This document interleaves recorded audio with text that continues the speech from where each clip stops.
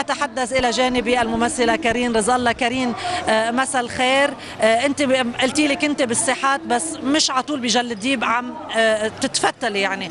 شو بيعني لك أنك تكوني بساحات الثورة بهالأيام؟ آه، بيعني لي انه نحن ياما تحملنا ياما ياما عشنا. ما عنا أدنى حقوق حيلا مواطن بحيلا بلد بالعالم. نحن عم ندفع ضرايبنا عم نشتغل حقنا يكون عنا كل شيء. أدنى أشياء. يعني نحن اليوم عم نطالب بكهرباء عم نطالب بمي عم نطالب ببنى تحتية عم نطالب عم نطالب بأشياء هول كانوا بديهي إنه يكونوا موجودين عنا. وهلأ اليوم الصدمة الأكبر إنه نحن بعد 8 أيام اكتشفنا إنه نحن عم نطالب إنه بس حدا يسمعنا. يعني صرنا 8 أيام بالطرقات ما حدا عم برد علينا وهيدا شيء هيدا شيء خطر أنا بحسه إنه نحن ماشي. يعني نحن ماشي.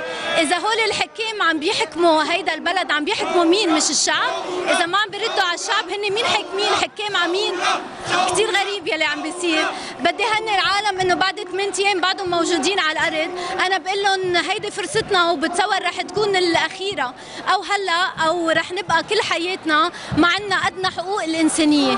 شكرا.